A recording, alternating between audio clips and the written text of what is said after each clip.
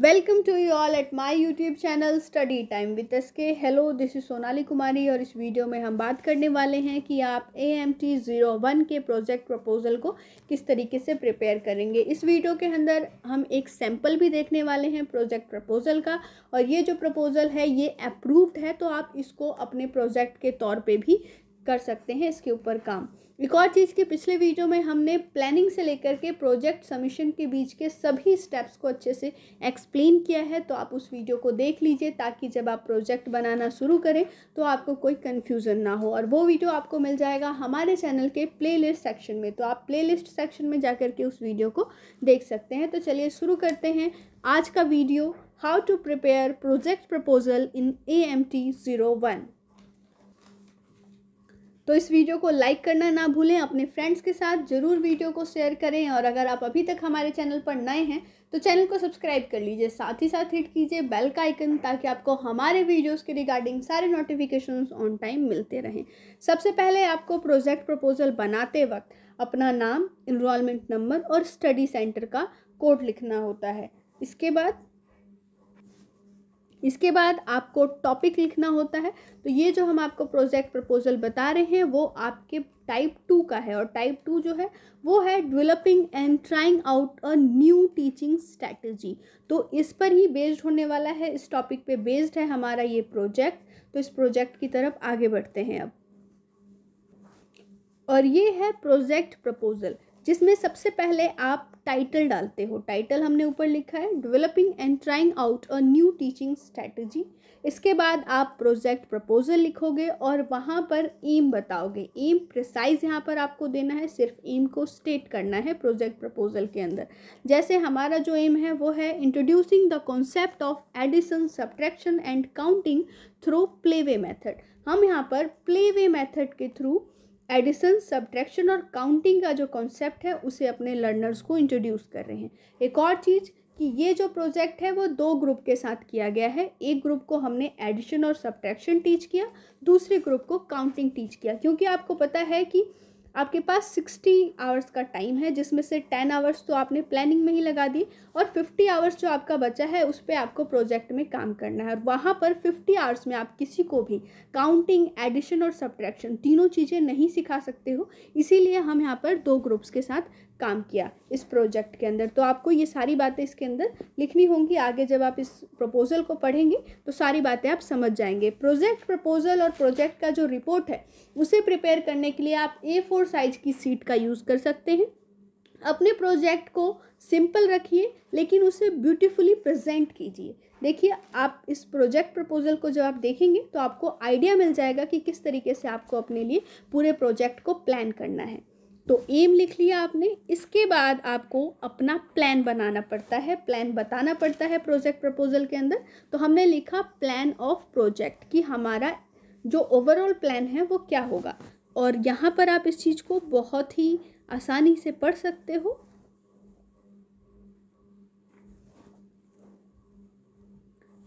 आपको पता है हमने एम में जैसे कि बता दिया है कि हम तीन चीज़ों पे काम करने वाले हैं। एडिशन सब्ट्रैक्शन और काउंटिंग तो काउंटिंग को समझाने के लिए काउंटिंग को इंट्रोड्यूस करने के लिए हमारा क्या प्लान है, उसको हमने अलग से यहाँ पर लिख दिया।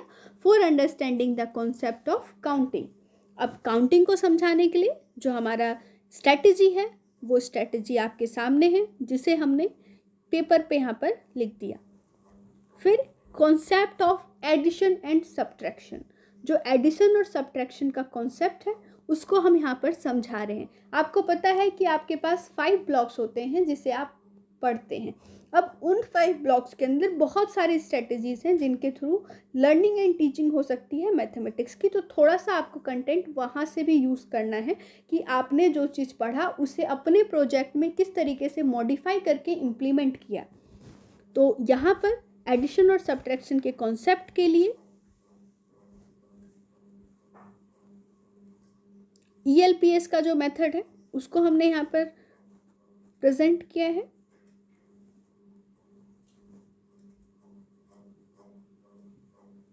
अब एडिशन के लिए आपको यहाँ पर अलग से लिखना है कि एडिशन के लिए किस तरीके से आपने काम किया। एडिशन के मेथड्स आप यहाँ पर बताएँगे।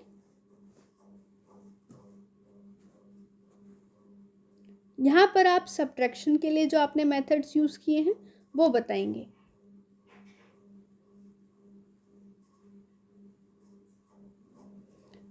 प्रोजेक्ट प्रपोजल के अंदर आपको सभी एक्टिविटीज़ के बारे में नहीं बताना है कि आपने कौन कौन सी, जैसे कि हमारे पास कॉम्प्लीमेंट्री एडिशन है तो कॉम्प्लीमेंट्री एडिशन सिखाने के लिए आपने किस टेक्निक का यूज़ किया, किस तरीके से आपने प्लेवे मेथड में इसको डाला तो ये सारी चीज़ें आप यहाँ पर नहीं लिखेंगे, वो सारी बातें हम लिखेंगे प्रोजेक्ट रिपोर्ट के अंदर, ये हमारा सिर्फ़ प्रपोजल है।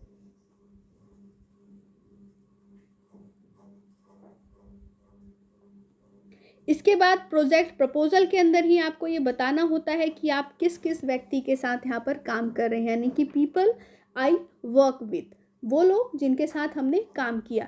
तो आपके पास दो ग्रुप है इस प्रोजेक्ट के अंदर तो ग्रुप वन में कौन कौन से लोग हैं, यानी कि उनकी एज ग्रुप क्या है, वो किस क्लास से बिलोंग करते हैं और कैसी सोसाइटी में रहते हैं, इस बारे में भी अगर आप बताते हो तो इससे ये पता लगता है कि आपने इस प्रोजेक्ट के ऊपर कितना काम किया है। ये देखिए, हमने जैसे जो ग्रुप वन लिया है, उसके अंदर फोर टू सिक्स ईयर के एज ग्रुप के बच्चे हैं, जो नर्सरी प्रैप और केजी क्लास से बिलोंग करते हैं और अर्बन सोसाइटी से हैं। इसके बाद जो ग्रुप टू है, वो भी उनका age group six to eight year है। फ़र्स्ट और सेकेंड क्लास के ये स्टूडेंट हैं और बिलोंग करते हैं अर्बन सोसाइटी से। फिर आप कुछ टीचर्स के साथ भी काम करेंगे उनके एक्सपीरियंस के थ्रू अपने प्रोजेक्ट को इम्प्लीमेंट करने की कोशिश करेंगे। तो आप उन टीचर्स के बारे में थोड़ा सा लिखेंगे। जैसे कि हमने यहाँ पर दो प्राइमरी स्कूल टीचर्स के साथ काम किया जो मैथमेटिक्स टीच करते हैं मिसेस मंजू बिस्ट और मिसेस रेखा पाल। फिर मिसेस जया मलिक हैं, जो प्रिंसिपल हैं बालकृष्ण पब्लिक स्कूल की और ये जो स्कूल है वो एक इंग्लिश मीडियम बेस्ड स्कूल है। तो आप ये सारी बातें भी लिखेंगे। क्योंकि आप यहाँ पर एक प्रोजेक्ट पर काम कर रहे हैं और प्रोजेक्ट जो होता है वो फुली डिफाइंड होना चाहिए अपने आप में। यहाँ पर आपका लास्ट स्टेज आ जाता है आपके प्रोजेक्ट प्रपोजल का कि आप इस प्रोजेक्ट को कहाँ पर कंडक्ट करने वाले हैं, ये सारी चीज़ें आप कहाँ करने वाले हैं। तो चूँकि हमने ये जो प्रोजेक्ट जिस स्टूडेंट ने बनाया है, उन्होंने कोविड के दौरान बनाया है। तो उन्होंने यहाँ पर रीज़न बताया है कि वो इस प्रोजेक्ट को अपने नेबर में ही करने वाले हैं, अपने आसपास करने वाले हैं, क्योंकि पेंडेमिक कोरोना वायरस के दौरान सभी स्कूल्स बंद थे, कोई स्कूल वर्किंग नहीं था।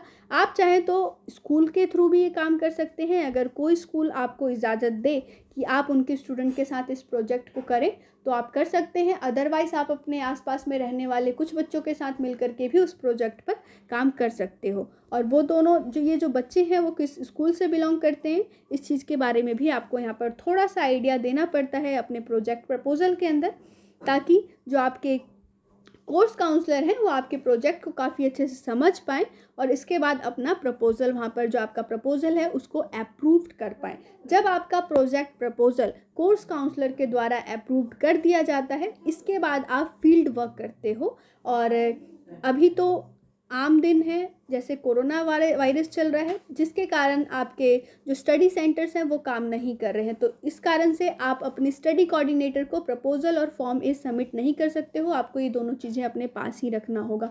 जैसे ही ये स्थिति खत्म हो जाएगी और स्टूडेंट्स जो है स्टडी सेंटर जाने लग जाएँगे तो आप स्टूडेंट्स अपने प्रोजेक्ट प्रपोजल के अप्रूव होने के बाद फॉर्म ए की एक कॉपी और प्रपोजल की एक कॉपी अपने स्टडी कोऑर्डिनेटर को वहाँ पर सबमिट कर देंगे और इसके बाद अपने प्रोजेक्ट पे काम करना शुरू कर देंगे। तो यहाँ पर आज के वीडियो में आपने प्रोजेक्ट प्रपोजल के बारे में देखा कि प्रोजेक्ट प्रपोजल आपको किस तरीके से बनाना है। आप इस प्रोजेक्ट को भी बना सकते हो, इसमें थोड़ी सी मॉडिफिकेशन करके बना सकते हो। जैसे हमने यहाँ पर एडिशन, सब्ट्रैक्शन और काउंटिंग लेकर के काम किया है। आप मल्टीप्लिकेशन डिवीज़न के साथ काम कर सकते हैं।